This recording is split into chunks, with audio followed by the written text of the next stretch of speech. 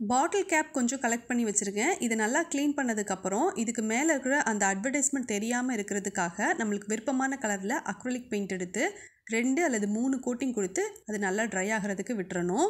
நான் வந்து yellow colour கொடுத்துருக்கேன். இமோஜி ஃபேஸ் நான் வரைய போகிறேன் அதனால எல்லோ கலர் கொடுத்துருந்தேன்.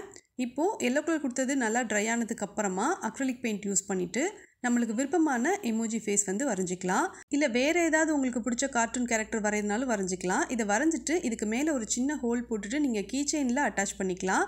நான் வந்து இந்த மாதிரி மேக்னெட் எடுத்து வச்சுருக்கேன்.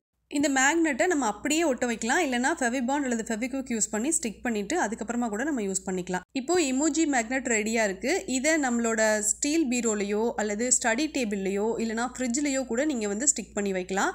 பார்க்குறதுக்கு ரொம்பவே நல்லாயிருக்கும் இந்த கிராஃப்ட் உங்களுக்கு பிடிச்சிருந்ததுன்னா இந்த வீடியோக்கு லைக் பண்ணுங்கள் உங்கள் ஃப்ரெண்ட்ஸுக்கு ஷேர் பண்ணுங்கள் தேங்க்ஸ் ஃபார் வாட்சிங்